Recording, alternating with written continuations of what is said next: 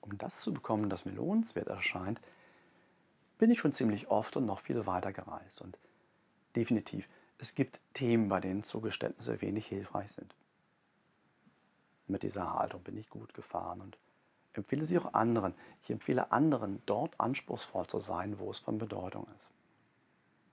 Heute ist das in einigen Bereichen deutlich einfacher. Auch weite Reisen sind oft nicht mehr erforderlich.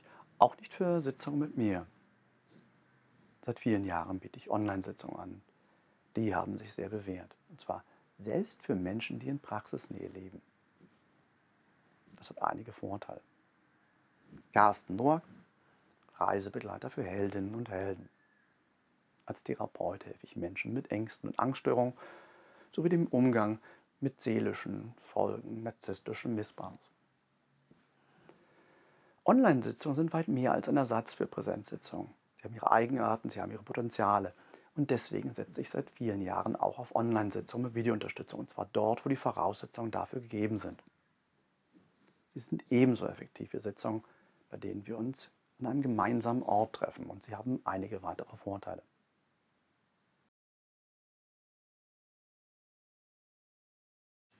Vorteile gegenüber Sitzungen in der Praxis. Eine angenehme An- und Abreise zur Sitzung kann sehr bereichernd sein, um sich einzustimmen und zu reflektieren. Doch nicht immer ist Zeit dafür verfügbar. Bei Online-Sitzungen ist dieser Aufwand nicht erforderlich. Es lässt sich auf die eigene Weise einstimmen und am Ort der Wahl so richtig bequem machen.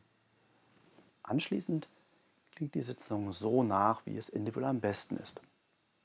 Entspannter lässt sich wohl kaum ans Werk gehen.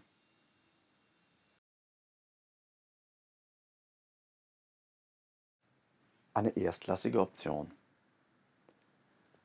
Online-Sitzungen lassen sich sehr intensiv gestalten und sie erfordern kein Informatikstudium. Weil ich telefonische Sitzungen und Online-Sitzungen schon seit so vielen Jahren durchführe, habe ich einiges unternommen und angeschafft, damit es für virtuelle Gäste so angenehm und der Prozess so effektiv ist wie möglich. Bild- und vor allem Tonqualität sind bei entsprechender Bandbreite beachtlich. Und es gibt übrigens auch Themen, bei denen sich reine Telefonsitzungen anbieten, so wie bei der Anamnese oder beispielsweise bei Sitzungen zu den seelischen Folgen von narzisstischem Missbrauch.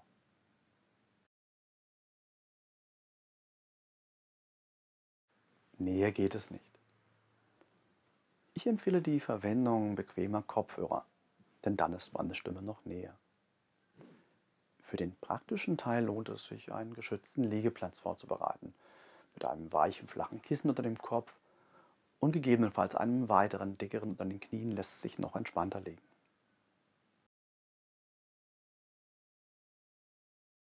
Technik. Für die Sitzung können Computer mit entsprechender Internetverbindung wie Windows-Rechner oder Mac mit Mikrofon und Kamera, ein Tablet-PC oder iPad genutzt werden. Weil während der Sitzung ohnehin meist die Augen geschlossen sind, ist auch ein Smartphone hervorragend dafür geeignet. Die Kamera ist bei diesem Sitzungsteil am besten so ausgerichtet, dass ich die Atmung und die Reaktion an Hals und Gesicht gut erkennen kann. Meist ist dies bei etwas erhöhter Kameraposition von der Seite am besten zu erreichen.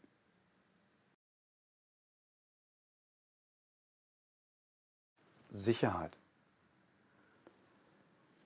Die Sitzung wird über einen Anbieter durchgeführt, der den Anforderungen der Datenschutzverordnung entspricht.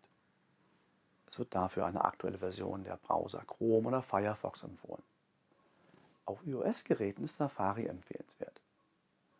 Die Installation weiterer Software ist nicht erforderlich wenn alles so einfach wäre.